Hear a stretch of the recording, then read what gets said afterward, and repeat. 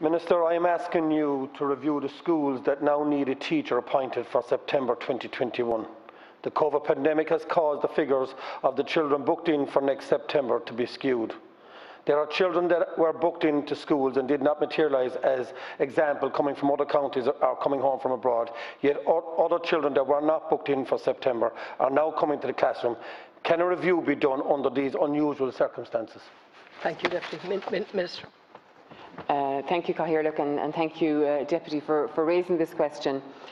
Um, Primary schools are currently provided with class teachers on the basis of one teacher for every 26 pupils, which is at its historically lowest level in this country.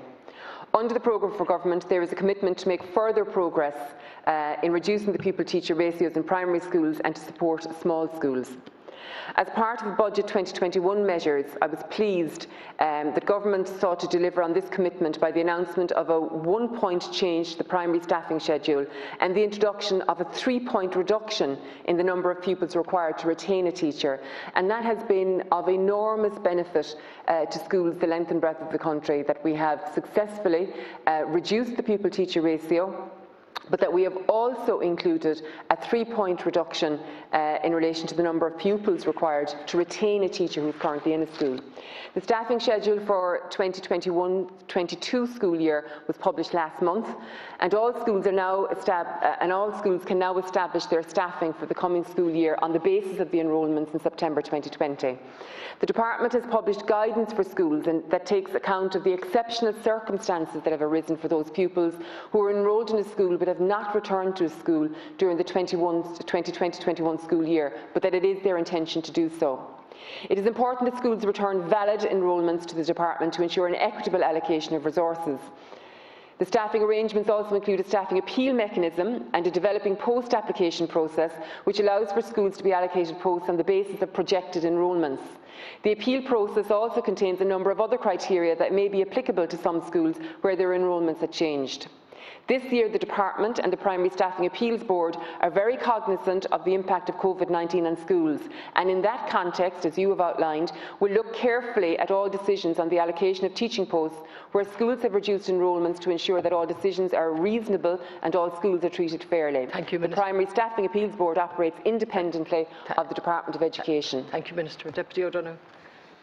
Minister, I wrote to your office and you informed me that a teacher-pupil ratio has come down and you are operating at 25 pupil to one teacher, which is applicable from September 2021. Why has a school in my constituency got 38 pupils in one classroom and 35 in another classroom? The school is Ballingarry National School, as they needed to have 199 at the end of September, and they had 194. They now have 201 as they've gained numbers over the year, mainly to events surrounding COVID. My question is, I advised them that there was an appeal process, yet they got back a reply Friday evening uh, to say that they were turned down for an extra teacher. Did anyone actually look at this appeal? This is genuine. Just because the system that is there at the moment, Minister, um, the people and their ratios, and they said that they had 194 and they had to have 199. Now they have 201 due to exceptional circumstances surrounding COVID. Thank you, Minister. Uh, thank you, Deputy. Um, I want to be clear, as I have said at the outset, you know, the Primary Staffing Appeals Board is an, is an independent board and operates independently uh, of the Department. Um, but what I will say that there, as I have outlined, that there is the opportunity for appeal. Um, now, I can't comment on the specific um, uh, school you mentioned, Deputy, because I'm not aware of, of, um, of, of, that and the format of their appeal. But what I will say is it, it is without doubt that we successfully did reduce the pupil-teacher ratio this year to 26 to 1. We also included, as I said, the three-point reduction for the retention of a, of a teacher. And to, to, be fair, this is a significant, significant advancement in terms of um, you know, schools being able to uh, hold on to a teacher, as it were, and equally for you know, um, the classroom base to be 26 to 1. Um, in, in its entirety, um, that's what schools are allocated at 26 to 1. For every 26 pupils, there will be one teacher. And, and, and that's how it operates. If, if some classes are lesser than that, if some classes are greater than that, that's a matter as to how the school thank you, themselves Minister. distribu- distributes their, their teaching Gar staff. Market. Donald, one minute. Yeah, um, another school minister in my constituency has said that it's pra- practically impossible to open in September, as they have a junior class has 28 children and it's impossible for them to be in pods. They are losing a teacher, and their appeal was also turned down. Under any circumstances, is it possible to have 38 students, two SNAs, and a teacher in one classroom? That is 41 people in one room, and they were turned down just because the process says no. Just to clarify, and are you happy that they will have 38 unvaccinated students, two unvaccinated teachers, and two unvaccinated SNAs in, in one room? What are we exactly doing here, Minister? Because the process is that if you lose a teacher or if you gain a teacher, you actually don't get that teacher until the following 12 months.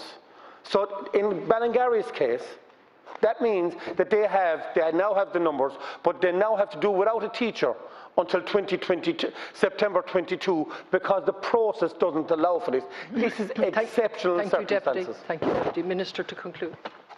Thank you, Deputy. And, and again, I want to acknowledge that, uh, you know, um, there, there has been a three-point reduction in terms of the number of pupils required to hold on to a, a member of staff. Now, for many, many schools, that has been hugely successful and beneficial to them. For others, it might well have required four, five, six. You know, that, that, that's the way it exists. Um, but there has been significant advancement made. Uh, equally so, I will say to you, in, in terms of appeals, and you know, appeals can be ongoing. Uh, schools, and uh, again, I cannot comment on the specifics that you've referenced there, but schools are entitled in their appeal, uh, even if they have further information, as I say, to, to appeal again, to include all um, uh, and make all reference to um, the layout of the room, how many can be uh, facilitated within a room, uh, how many children are going to be within a room, uh, so on and so forth. So that, that's the basis, um, you know, for, for how appeal is actually made. And if there is a specific instance where, um, you know, uh, a- class cannot be accommodated in a specific room, we saw, we saw that last year and accommodations were Minister. made and provided for. Margaret. So again, I would ask that they might address Gar- that in their appeal.